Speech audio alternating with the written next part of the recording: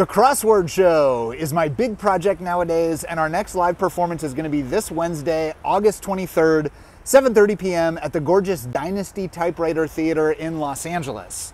My guest panelists are going to be Rachel Bloom, who created and starred in Crazy Ex-Girlfriend, and Jodie Sweetin, who played Stephanie Tanner on Full House. What Rachel and Jodie are going to be doing is solving an actual crossword puzzle live on stage in front of a crowd.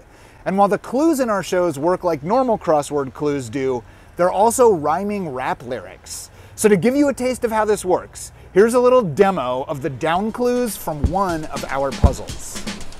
One. Sudden loud sounds, like from a Two. piece of percussion that you pound to make a renowned break, e.g., impeach the president. Three. Presently, he's Egypt's president. Four. Cocktail with the rhyming name. Five. Network where Trebek worked before finding fame at the game show pinnacle. Six. Cynical, fake laugh syllable. Seven. Just joking. Eight. And snare again. Nine. Heir to the throne. Twelve. Weinger or Bakula, who once presented an award with Patti LuPone. Fourteen. Showbiz sibling known for tickling ivories and funny bones. Eighteen. Holders of microphones, let me switch the rhyme scheme for 19. hot red stuff. 21. Red hot stuff. 22. That sure took long enough. 23. Gaynor or Vanderbilt. 24. Filmed. 28. Tilt. 30. Woman's name that's now tied forever to a smash hit by Rihanna. 31. Chill. 32. Spot saying don't drop out, drive drunk, or smoke marijuana. 34. Cause of a liver spot, which is something you can spot on a long time liver. 35. Fish delivered for oil. Down clues. What your boil deliver.